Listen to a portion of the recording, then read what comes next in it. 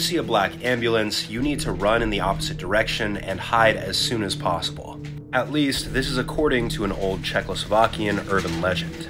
This slideshow starts off with the first slide saying, I'm the most dangerous car, showing a van saying there's free candy inside, the second slide showing a worse looking one saying the same thing, and the third slide showing the infamous black ambulance. This urban legend rose to popularity in Czechoslovakia back in 1980. In summary, these unmarked ambulances would travel around, typically at nighttime, picking up homeless people or people that were walking by themselves, and harvest their organs for sale on the black market.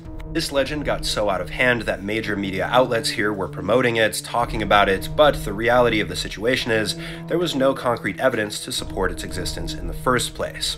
Also, these private ambulances are typically meant to transport already deceased people, according to my research.